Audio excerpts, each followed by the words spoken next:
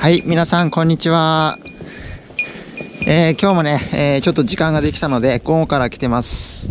今もう3時過ぎということで、えー先ほどね、あの木の伐採ね、あちら、あのアルチザンツールさんのね、剪定バサミを使ってね、えちょっと下の方まで切りました。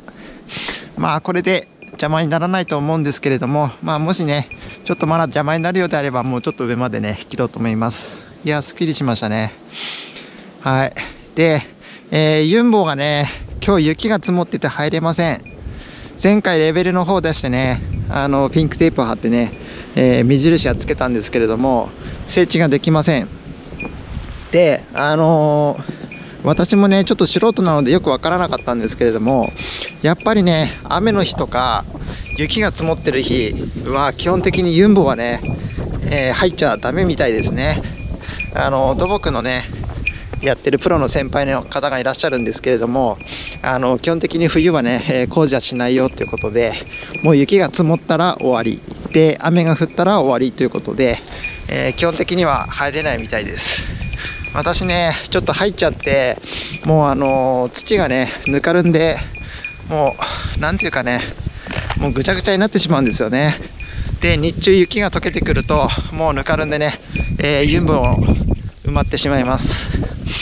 えーということでね、なるべくちょっと雪の日とか、えー雨が降った後はね、もう土が濡れてる状態をね、極力、えーユンボでの作業は避けようと思います。で、えー今日もね、もう雪が積もってて、何もできません。はい。まあね、ちょっとした下準備とかはできるんですけどね。えーただね、あの、何もできないとちょっとつまんないので、もう私もね、ちょっと YouTube をね、動画を作ってる以上、やっぱ、あの、視聴者さんにね、えー楽しいことをやっぱお見せしないといけませんので、何をしようかなと考えてたんですけれども、えーちょっとね、探検しに行きたいと思います。はい。で、今ね、どこに向かっているかというと、まあ、あの、だいぶ前にね、皆さんにお見せしたかと思うんですが、えーちょっと川の方までね、行ってみたいと思います。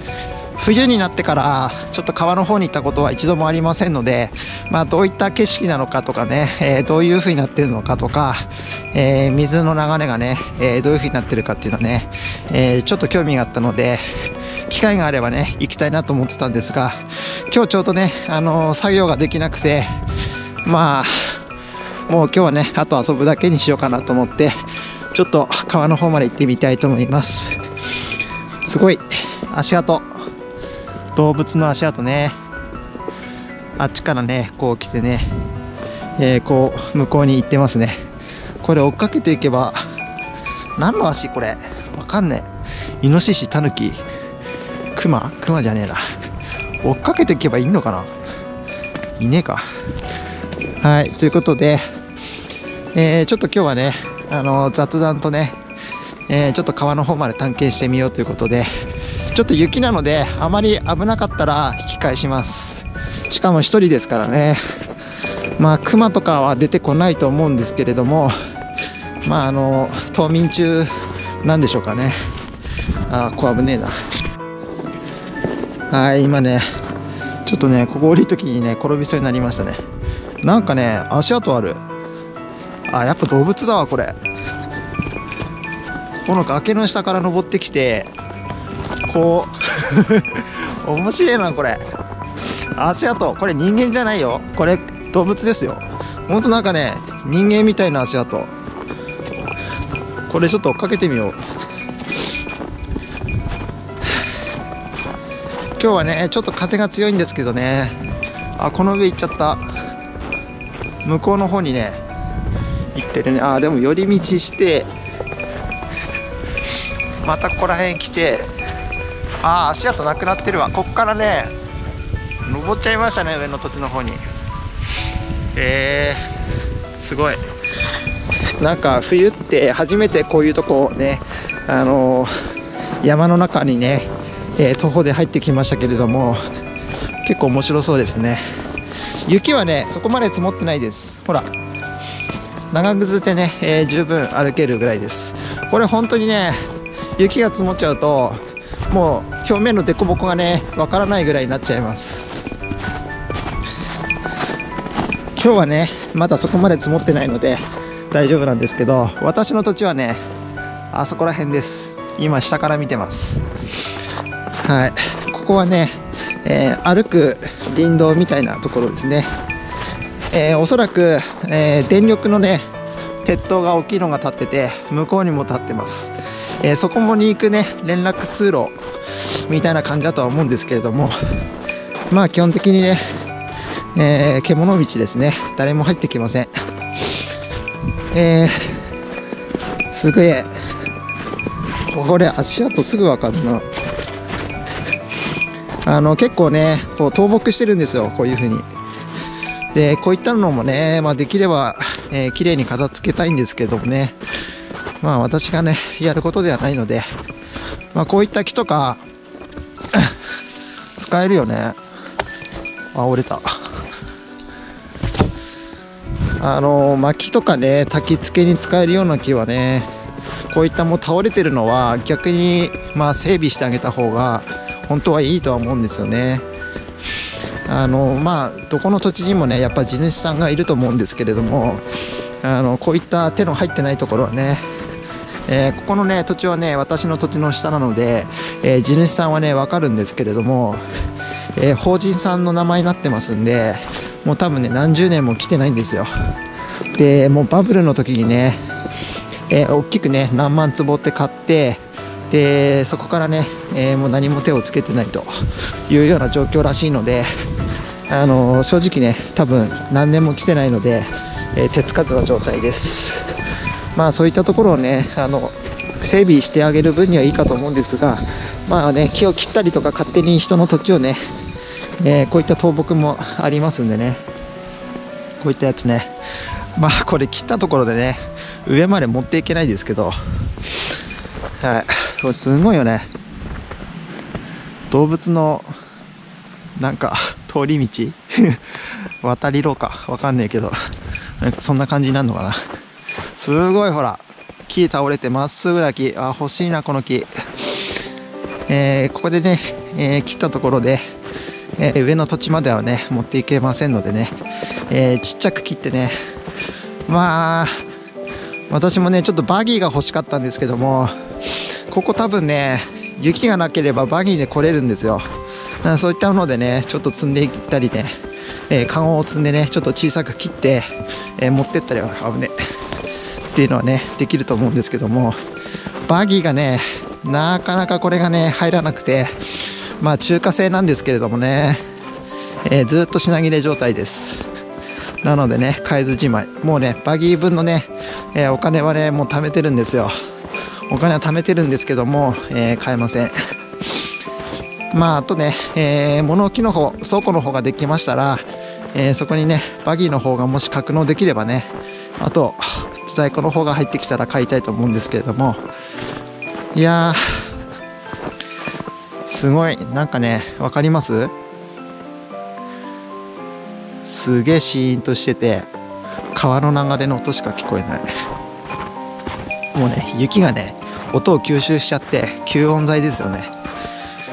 はい。今ね結構下の方まで来ました。だいたいね私の土地からはね歩って10分はかかんないんですよ。今ずっと下ってきてますけれどもまあ78分ぐらいあれば来れますかね。はい。誰もいない。足跡も1個もない。すげえ楽しい。まあこの動画を見てるね皆さんが楽しいかどうかわかんないですけども。ねすごい楽しい。わあ水の量少な。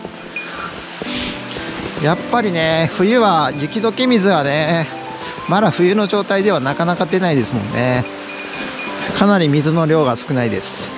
夏にね来た時に多分動画でね、えー、お見せしてますんで見た方わかると思うんですがもうちょっとね水の流れはありましたね。あ誰か木伐採してるな。こういった木もねあと腐って終わりですからね。まあ小さく切ってね薪に使うとかねしてもいいと思うんですがすごいでしょここの岩。削れてんのよ。こんな感じ。中にもう木の根っこからねほら石がゴロゴロ詰まってる。うわ寒そう。ちょっと渡ろう。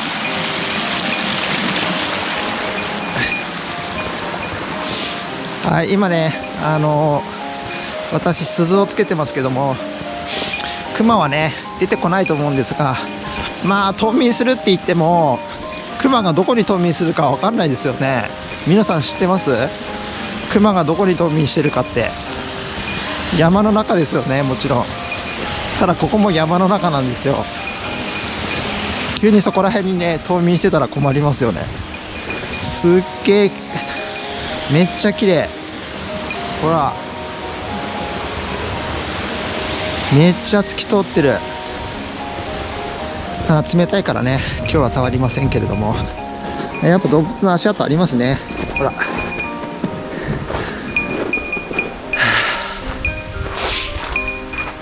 ここね秋とかに来るとねものすごく綺麗なんですよ。紅葉しててねここはちょっとねあの何ていうの中州みたいな感じになってるんです。川とねちょっとそっちの小さな川に挟まれて中州みたくなってて。でここはね全部紅葉してねほんとここら辺でキャンプしたらねものすごい楽しそう。ただねここの川はね、えー、地元の方が言うにはね熊の通り道になってるということなのでまああんまり長い時間いるとねちょっと危ないかもしれないですね。まあ今みたいに冬の間はいいんですけども秋とかねまあキャンプするっつってもねテントの中にクマが一緒に入ってきそうだ感じですね。はい。こんな感じです。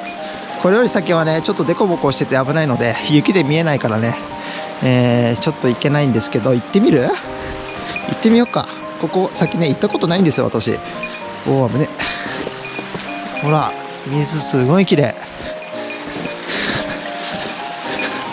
この木やばくね？ほら。宙に浮いてますよこの木。どんな形これ？どんな形でこうなるの？ここ多分夏とかはねあの私は見たことないですけども釣りとかに来る人がいると思うんですよ。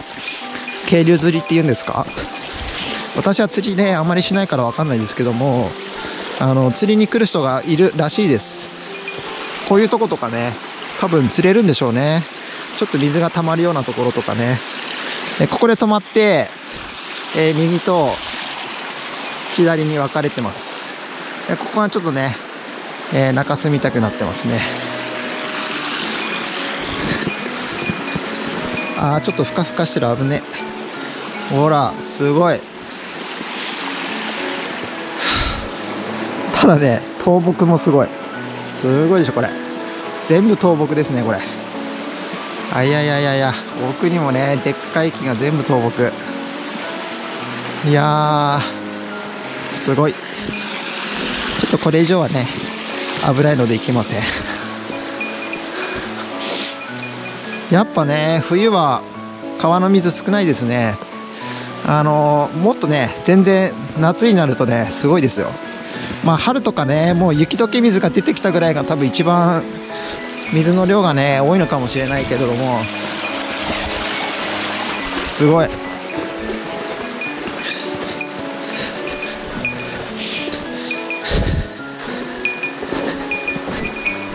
えー、全然水ない。すごいねこれ。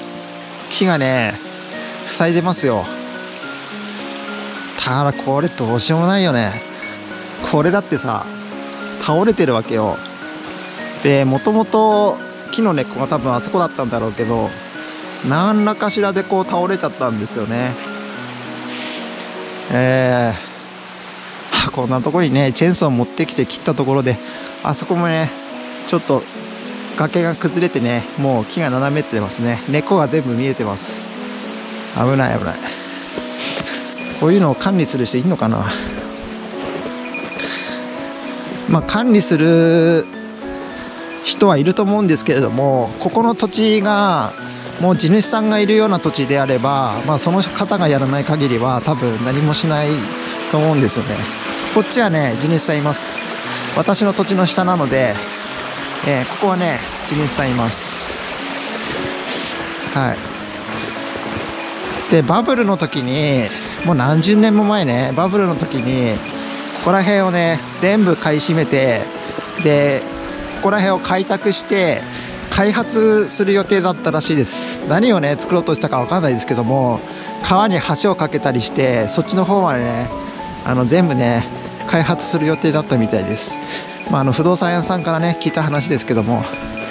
ただそれがね、えー、途中で計画が終わってしまってえー、今はねもう何十年も手つかずということでまあその開発する会社がね、えー、買ったと思うんですが今はね開発許可が下りなかったって言ってたかな。うんそれでね結局何も手つかずのままこんな感じです。まあ開発するっていうのはねやっぱり山をね切り崩すことになりますんで、えー、まあそこがいいかどうかっていうのはねとわからないですけども、まあ、せっかくの綺麗な山はねできれば残したいですね。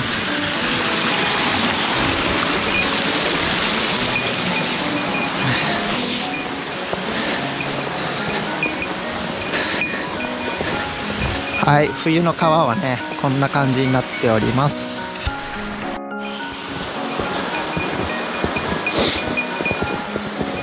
いやこんな山の中でもねえー、雪がねしんしんと降り続いております。あそこら辺ねこうなんか登っていけるようになってんだけどもなんかね冬眠してるクマが出てきそうですね。ああちょっと降りてみようか。よいしょ危ね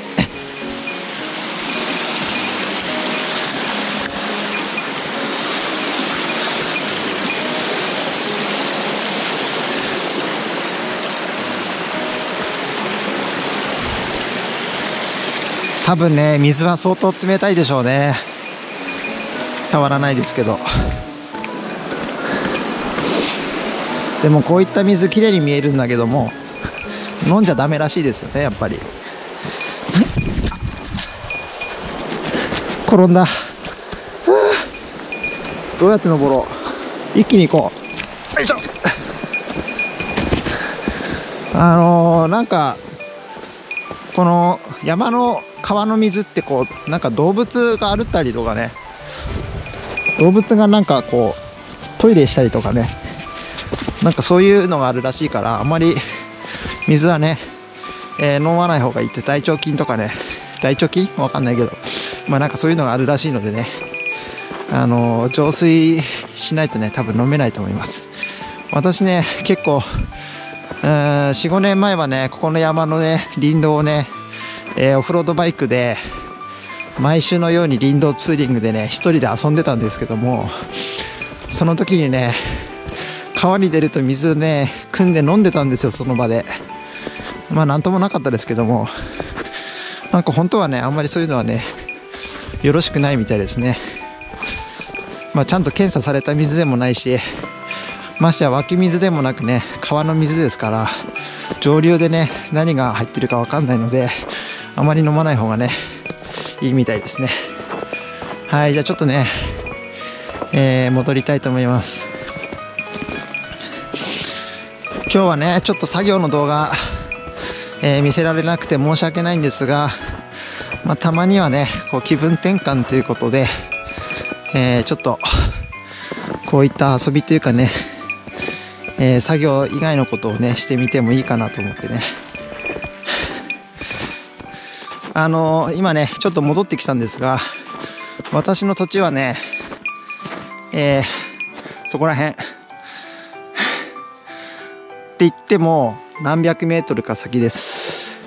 一回ね、うーん、去年の春ぐらいに、雪が溶けたあたりに、まだ葉っぱがね、生えてない時ですけども、自分の土地からこう下って川まで行ったことあるんですよ。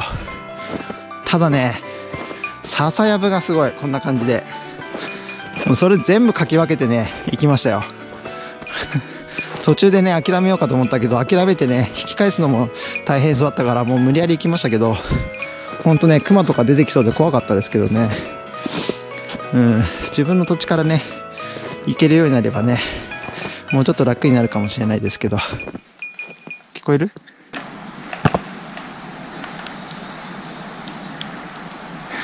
タンタタンタンタタンってキツツキの音がね聞こえますよ。この木全部倒したのキツツキかなもしかして。はい。ということでね今日はちょっと作業動画ではなくて、えー、ちょっと川の方までね雪の山の中を探検するということで、えー、ちょっとやってみました。まあね私の動画を見てくださってる方はまあこういうのもね多分多少は興味あるかなと思います。山がね好きじゃない方は多分私の動画とかね見ないと思いますしあとね私の動画を見てくださってる視聴者様の他のチャンネル何を見てるかっていうのを見れるんですよ。であの多くね見てる他のチャンネルとかね、えー、見れるようになってます。まあそれを見ることによってあどういうことにね興味がある視聴者さんが私の動画を見てくださってるのかなっていうのがね、えー、分かるようになるんですけれども、まあ、同じような感じですね。やっぱ、えー、山のこっちから行ってみようか。さっきね降りてくとこっちから来たんだけどこっちから行ってみましょう。あの山の動画とかね山開拓あと土地を開拓してやるとかね廃墟復興とかね。あと工場をね復興するお城サイクルさんとかね、え、もちろん酒岡さんとかも入ってますけども、まあ、そういった感じの動画をね見られてる方がやっぱり多いです。同じジャンルですね。まああの私の動画はね本当にねあのつまらない動画ばっかりで。で話も下手ですしあの動画のね作るセンスもねやっぱないんですよね。ないっていうか、まあ、ないんですけど作る時間がない。言い訳ですけど。あの動画を作るってこの1個の動画を作るのに何時間もかかるんですよ。えー、私結構ね長めの動画になってしまうんですね。編集が下手なのでカットがなかなかできなくて、えー、早送早送りばっかり使ってね、えー、なかなかねカット作業ができません。上手い人はねカットがスムーズなんですね。あのもうね何百万人ついてるさがやかさんとかね、えー、カズチャンネルさんとかね大体毎回見てますけどもやっぱ編集がうまい。まああの編集者さんがねついてると思うんですけどもカットの仕方がやっぱうまいですね。そこら辺がこうベテランと、えー、私みたいな初心者のね、えー、違いなんですけれどもカットがうまい動画は、えー、やっぱりね15分20分ぐらいでね綺麗に収められてます。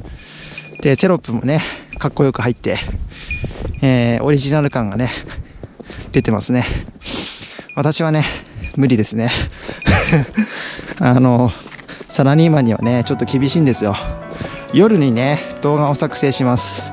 で、私が出す頻度はね、まあ、毎回見ていただいている視聴者さんわかると思うんですが、3日に一度、えー、アップします。3日に一度目標にしてアップしてます。で、3日に1度っていうことは例えば今日アップする日まあ私はねあの毎日9時にね毎日じゃないな3日に1回9時にね午前の9時アップします。なんで9時かっていうとこれねこう鉄塔の下ですよ。あのー、夕方アップする方が多いです。6時7時台でしょうかね。もちろんあの佐賀岡さんとかもね6時頃にねアップされますけども6時7時のねゴールデンタイムはねあのベテラン勢と強敵が多いです。ライバルがね。私にライバルなんていないんですけど 初心者のくせにね。あのそういった時に出してもまず見てくれないんですよ。で私の動画を見てくださってる方は私よりも年上の方がほとんど9割ぐらいです。えー、特にね65歳以上の方がね多いです、まあ、そういったデータもね全部見れるんですけども、えー、ということはあの日中見れる方が多分比較的多いと思うんですね。なのであの9時頃にね出すとねまあ意外と見てくれます。試しにね夕方6時ぐらいにね出すとどうなるのかなってね2回ぐらいかな。1回2回ぐらい出したんですけどね、えー、視聴回数の上がり方がねもうズタボロでしたね。はい。ということでそういったライバルがねいない時間帯を狙って、えー、アップしてます。その方がね視聴回数が伸びるんですよ私の場合は。でね3日に1回っていうとどういう頻度で作成するかっていうとアップした日の夜は休みます。アップした当日、えー、今日ね今日の9時にアップしたとしたらその日の夜はお休みします。でその次の日にようやく夜にね仕事帰ってきて、えー、ご飯食べて風呂入ってね、えー、夜、えー、11時とかねそんぐらいから、えー、1回目の編集入ります。1回目の編集何するかっていうと、まあ、カット作業ですね。動画長い動画私の動画は基本的に2時間とか1時間半とかをだいたい2 3 0分ぐらいにまとめてます。なのであのカット作業がね大変なんですよ。まあっていうことは1個の動画をカットするのに2時間以上かかるっていうことなんですね。見ながらカットしますんで、えー、動画の再生時間よりも長いと。ただね自分でここはねずっと作業してる動画だって分かるところはもう一気にねそこでカットしてバッと早送りね、えー、編集しますんで、えー、その分は短くなりますけども、えー、カット早送りテロップまでは、え1日目の作業にします。テロップはねほとんど入れませんけどもあの説明でねちょこっと入れたりとかね、えそういった感じで使うぐらいで喋、えってることに関しては全くテロップ入れません。そこまでやるとね、え多分23倍の時間がかかります。えー、なのでトロップはないんですけども、まあ、そんな感じでね1回目やって、えー、2日目にね、えー、BGM ですね、え曲をちょっと入れたりとか最終仕上げを、え2回目あとサムネね、えカスタムサムネイルっていうんですけども、え YouTube のね、え画面に出てくるサムネをね作ります。2日目にね。でその日の夜に、えー、アップのスケジュールを組んで、えー、次の日の朝9時に、えー、自動的にアップされるというような感じでやっております。なのでねあの1日休んで2日作って、えまた1日休んでという感じです。これ結構ねサラリーマンにはきついと思いますよ。まあ頑張ってねやってますけどもね。一回諦めちゃうとねもうずっと、え諦めそうなので。あまあそんな感じでやってます。まあ、これからもねあのちょっとつまらない動画かもしれないですけども、えー、まあ、見てくださればね、えー、とても動画を作る励みになりますんで、えー、よろしければねつまらない動画でもご視聴いただければと思います。はいということでね、え今日は、えちょっと冬のね雪の山を探検してみたということで、え撮らせていただきました。はい、ここら辺までにしたいと思います。中もね、すごいね、倒木ね。はい、あと風が強くなってきたのでね、えー、帰る準備をしてね、今日は帰りたいと思います。また次回以降ね、作業アップしていきますので、よろしくお願いいたします。ありがとうございました。